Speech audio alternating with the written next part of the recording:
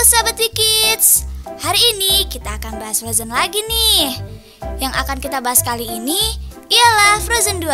Karena sebelumnya kita sudah membahas yang pertama. Penasaran kelanjutan cerita Anna dan Elsa? Yuk mari kita simak bersama. Awal cerita.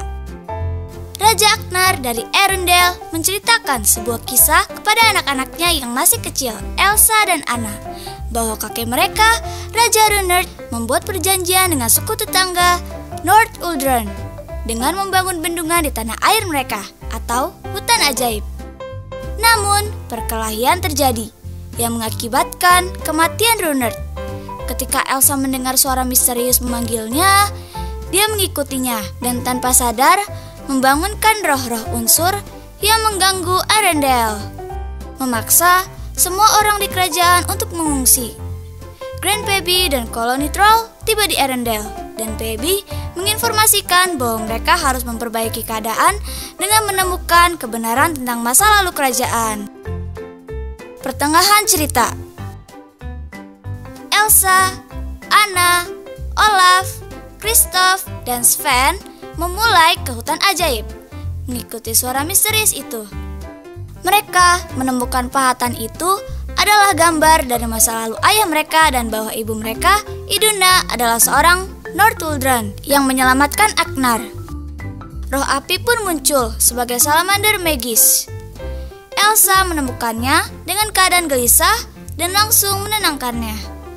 Elsa dan Anna menjelaskan bahwa ibu mereka adalah Northuldran dan ayah mereka adalah Erendellian.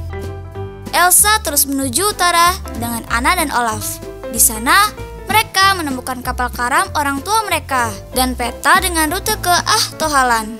Sungai mitos yang dikatakan memiliki penjelasan tentang masa lalu. Lalu, Elsa pun bergegas pergi dan menjinakkan roh air yang berupa kuda lalu pergi ke Ah Tohalan. Elsa menemukan bahwa suara itu adalah panggilan Iduna dan bahwa kekuatannya adalah hadiah dari keajaiban alam karena tindakan tanpa pamrih Iduna menyelamatkan Agnar, menjadikannya roh kelima yang menyatukan perbedaan. Akhir cerita. Lalu Elsa pun mengirimkan informasi ini kepada Anna. Anna pun menerima pesan Elsa dan menyimpulkan bahwa bendungan harus dihancurkan agar perdamaian dapat dipulihkan. Anna langsung menginformasikannya dan bendungan itu dihancurkan, lalu Elsa kembali dan menghentikan banjir dari bendungan yang hancur. Ketika dinding kabut menghilang, Elsa bersatu kembali dengan Anna dan menghidupkan kembali Olaf. Kristoff melamar Anna dan Anna pun menerimanya. Elsa menjelaskan bahwa dia dan Anna sekarang adalah jembatan antara orang-orang dan roh-roh ajaib.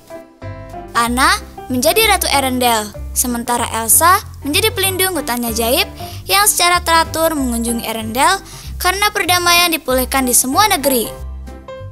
Gimana nih ceritanya? Seru kan? Jangan lupa dukung channel Bikis dengan like dan subscribe. Dan jangan lupa nyalakan loncengnya ya untuk mendapatkan notifikasi video baru dari Bikis. Terima kasih semua. Sampai ketemu lagi di video selanjutnya. Bye bye.